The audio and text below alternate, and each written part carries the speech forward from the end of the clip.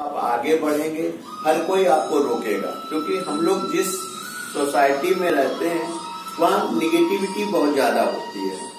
है ना? तो हर कोई, हर आदमी अपने बच्चे को सेफ़ रखना चाहता है। उससे आपको आगे बढ़ना है। इसलिए आपको कल्पना करनी होगी, अपने अंदर के झिझक को दूर करना होगा।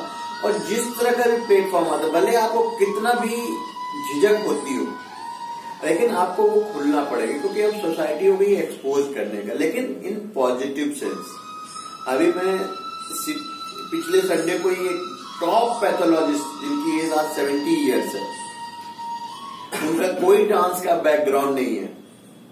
उन्होंने 50 साल की उम्र में डांस सीखना शुरू किया था। उसके बाद उन्होंने आईएमए के बहुत सारे प्रोग्राम जो डॉक्टर्स एलोपैथी डॉक्टर्स का एक एसोसिएशन है, उसमें उन्होंने डांस प्रोग्राम परफॉर्म भी किया उन्होंने बहुत सिंपल सी चीज़ बोली कि सबसे बड़ी बात ये होती है कि हम समझे कि सामने वाला कुछ नहीं जानता है। किसी ने जैसे आप है, अभी आप लोगों को खुद भी नहीं पता था कि आपके अंदर इतना अच्छा टैलेंट है। और जब तक आप बोलेंगे नहीं, उसको कोई दूसरा देखेगा नहीं, जब आपको एक्सपोजर नहीं होगा तो फिर रिटर्न भी नहीं मिलेगा।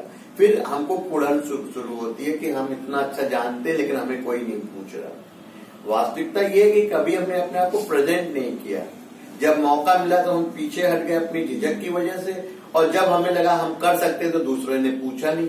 क्योंकि एक ऑलरेडी चेहरा बना हुआ हमारे पास था कि अच्छा बोलता है, मैंने फट से उसको फिर बुला दिया, फिर वो बोलने लगा। तो बस मैं यही चाहूँगा कि जो हम लोग इस साल जुड़े हैं, एक लक्ष्य के साथ जुड़े हैं, हम सभी लोगों ने कल्पना की है। हमने खुद भी कल्पना की है, हमारे पेरेंट्स ने भी कल्पना की है, हमारे फैमिली ने भी हमारे लिए कुछ सोचा होगा। सबके अलग अलग एक्सपेक्टेशंस हैं।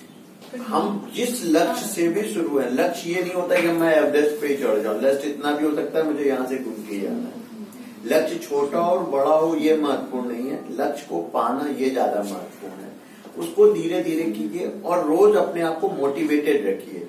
असफलताओं से या आज नहीं, कल। जो सबसे बड़ा हमारा ऑब्स्ट्रक्शन होता है किसी भी इंसान की ग्रोथ का, वो आलस्य होता है। उस आलस को छोड़ते हुए हम लोग को आगे बढ़ना चाहिए। एक बार फिर आप सभी लोगों को नववर्ष की हार्दिक शुभकामनाएँ।